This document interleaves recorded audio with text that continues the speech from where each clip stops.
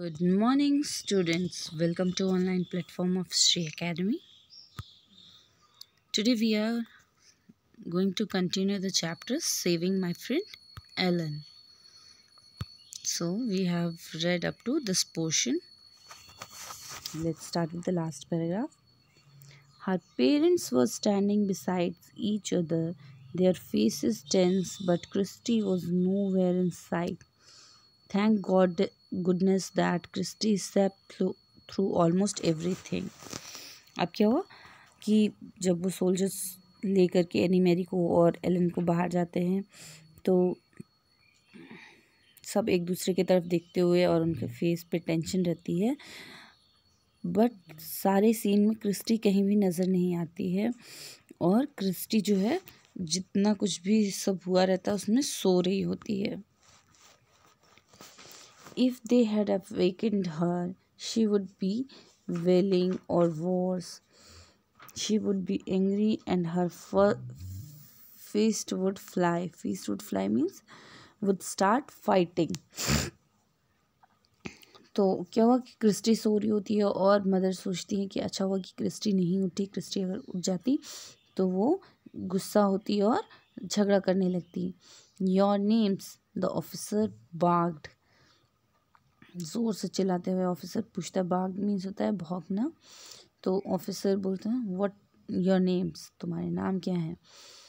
Annemarie Johansen and this is my sister quiet let her speak for herself your name he was glaring at Ellen Ellen swallowed. Lise she said, and cleared her throat. Lizzie johnson. The officer stared at them grimly. Now, Mamma said in a strong voice, You have seen that we have not hiding anything. May my children go back to bed. The officer ignored her. Suddenly, he grabbed a handful of Ellen's hair. Ellen winced. अब क्या होता है कि जब Lizzie अपना नाम बताती है लिज़ी और वो क्लियरली बोल नहीं पाती फिर अपना गला साफ करते हुए बोलती है लिज़ी जॉनसन और ऑफिसर क्या होता है अनप्लीजेंटली उसको देखने लगता है। मतलब बहुत गुस्से में उसको देखता है। और मम्मा जो है वो बहुत ही स्ट्रॉन्ग वॉइस में बोलती हैं कि अब आपने देख लिया कि हम कुछ भी छुपा नहीं रहे हैं और क्या आप मेरे बच्चे सोने के लिए जा सकते हैं वापस? ऑफिसर उनकी बात को इग्नोर करता है और सडनली जो वो है एलेंस को एलन के बालों को मुट्ठी में पकड़ लेता है। एलन विंस्ट अब एलन को दर्द होता है। He laughed scornfully. You have a blonde child sleeping in the other room, and you have this blonde daughter. He gestured toward Animary with his head. और क्या करता है कि वो उसको अनफुली हंसता है दैट मीन्स विद डिसरिस्पेक्ट बहुत ही गंदे तरीके से वो हंसता है और वो बोलता है कि तुम्हारा ब्लॉन्ड चाइल्ड एक दूसरे रूम में सो रहा है और ये दूसरा बच्चा तुम्हारा ब्लॉन्ड है। दैट मीन्स कि blond that means white head so gesture toward Annemarie's with her head gesture मतलब कि बालों को पकड़ा हुआ था उसने एनीमेरी के और उसके बालों को पक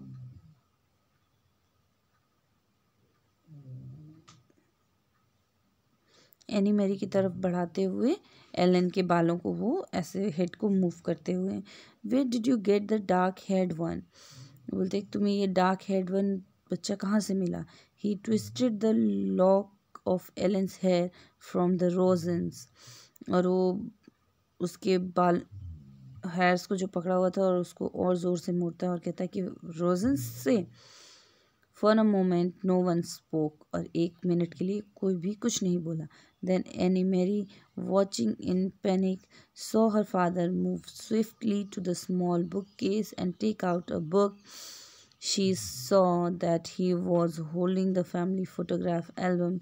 Very quickly, he searched through its pages, found what he was looking for, and tore out three pictures from three separate pages. अभी क्या होता है, एक मोमेंट के लिए वो कुछ भी नहीं बोलते हैं और फिर एनिमेरी देखती है डरी हुई अपने फादर को देख रही होती तो वो देखती है कि वो बहुत आराम से बुक केस की तरफ़ जाते हैं। वहाँ से फ़ोटोग्राफ, फैमिली फ़ोटोग्राफ एल्बम उठाते हैं और उसमें से जल्दी से सर्च करते हैं और तीन पेज फाड़ के लेके आते हैं। He handed them to the German officer who released Ellen's hair और वो जर्मन ऑफिसर को देते हैं, फिर वो एलेंस के बालों को छोड़ देता है। You will see each of my daughter each with her name written on the photograph papa said अब बोलते हैं कि आप मेरे डॉटर ईच डॉटर को मतलब हर डॉटर को आप मेरे देख रहे हैं और सबका नेम जो है वो फोटोग्राफ पे लिखा हुआ है। Annemarie knew instantly which photographs he has he had chosen of each girl as tiny infant. Mama had written in her delicate handwriting the name of each baby daughter across the bottom of those photographs. अब क्या होता है any मेरी को पता होता है कि पापा ने कौन सी तीन फोटोग्राफ चूज़ की हैं और हर फोटोग्राफ के नीचे मम्मा ने अपने डेलिकेट हैंड राइटिंग में बच्चे का नाम लिखा हुआ है she realized too with an icy feeling और मम्मा को भी ये रियलाइज़ हो जाता है कि कौन से पिक्चर्स वो लाए हैं और उन्हें बहुत ही आईसी फीलिंग आती है मतलब वो रिलैक्सड फील करती है why papa had torn them from the book at the bottom of each page below the photograph itself was written the date and the real Lizzie Johnson was, had been born 21 years earlier. और क्या होता है कि जो real Lizzie Johnson है, वो twenty one years पहले जन्मी थी, इसलिए फादर जो है, वो फाड़ के लाते हैं क्योंकि हर फ़ोटो के नीचे डेट ऑफ़ बर्थ लिखा हुआ था।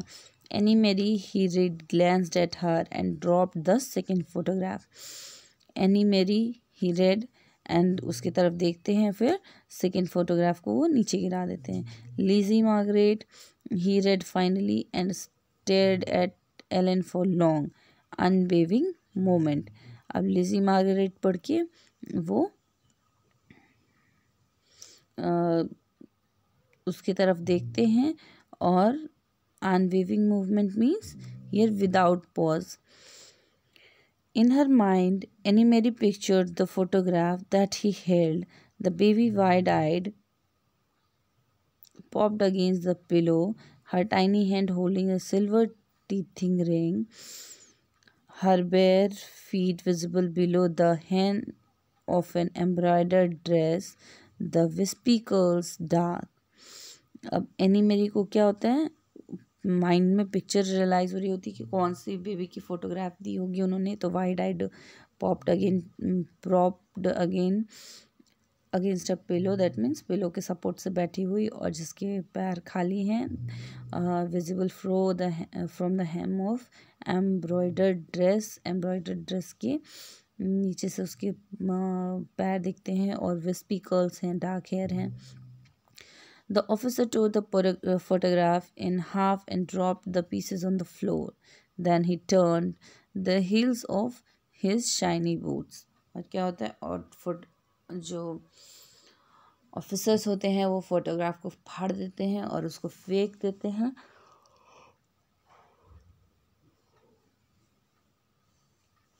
और मुड़ के वापस जाते हैं। Grinding into the pictures that means crushing the pictures जो पिक्चर्स फाड़ के फेंकी रहती है, उसके ऊपर चलते हुए। एंड लेफ़्ट द अपार्टमेंट और फिर अपार्टमेंट से निकल जाते हैं विदाउट अ वर्ड बिना कुछ बोले। द टू ऑफिसर्स फॉलोड और जो दो बाकी के ऑफिसर्स होते हैं, वो उसको फॉलो करते हैं। Papa stepped forward and close the door behind him और पापा ने क्या किया? आगे की तरफ़ बढ़े और दरवाज़ों को उनके जाने के बाद बंद कर दिया। Mama reach over quickly and took Ellen's hand. मामा जो है, जल्दी से एलन के पास पहुँची और एलन का हाथ अपने हाथ में लिया। You have beautiful hair Ellen just like your mama's और वो बोलती हैं एलन तुम्हारे बाल बहुत ही सुंदर हैं, बिल्कुल तुम्हारी ममा की तरह। शी सेड किसने बोला? मम्मा ने बोला don't ever be sorry for that weren't we lucky that papa thought और मामा बोलती हैं sorry don't ever be sorry for that and we lucky that papa thought so quickly and found the pictures are and we lucky that Lise had dark hair when she was a baby it turned blond later on when she was two uh so अब Ellen बोलती है कि आप उसके लिए कभी भी सॉरीफुल मत होइए। और क्या ऐसा नहीं था कि पापा लकी थे कि उन्होंने इतनी जल्दी से सोच लिया और वो पिक्चर्स भी मिल गई। और क्या हम लकी नहीं हैं कि लिज़ी के डार्क हेयर थे जब वो बेबी थी and it turned blond later when she was two और सो और वो फिर ब्लॉन्ड टर्न हुए कब? जब वो टू इयर्स या फिर उससे ज़्यादा की हुई। Okay students, in this way we have completed the chapter. Hope you have understood the chapter well. If you have any problem, you can call and ask me. In the next video, we will be doing the comprehension section, section of the story. Thank you. Have a good day.